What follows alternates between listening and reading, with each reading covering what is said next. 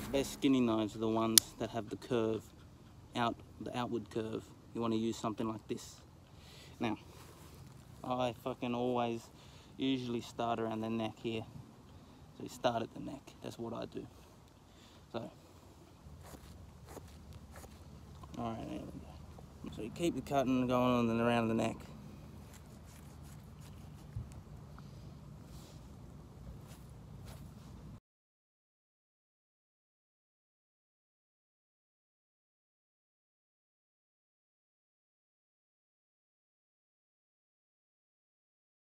So, once you're in here, you want to cut off as little meat as possible connected to the skin, and you want to use your knife as little as possible just to cut the fucking the hide.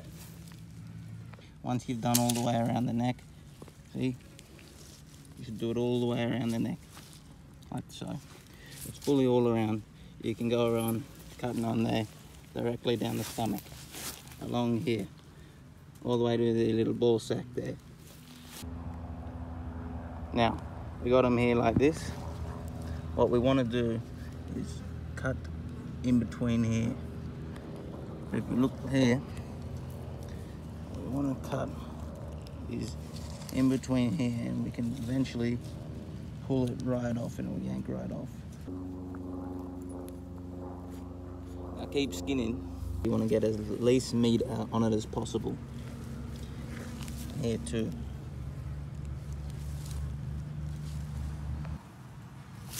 Now, should be pretty easy from here on. We got it like this. We're gonna take the arm off with it. There we go, got this here. Got it all like that.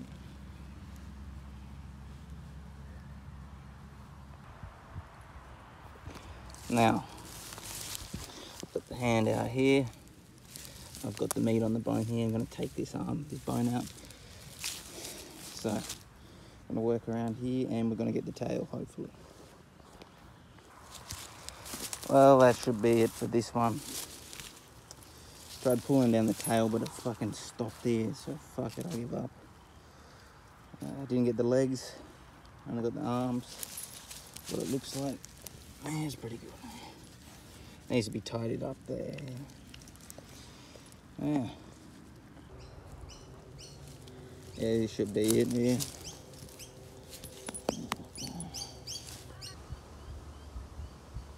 Alright. I fleshed it alright, there's still a little bit in there. These arms here, and take the bones out of the hand. Beautiful. Flipping over here.